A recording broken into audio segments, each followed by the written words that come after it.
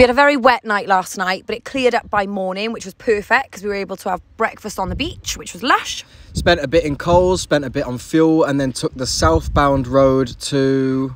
Coffs Harbour. Here's a big prawn. I'm a prawn.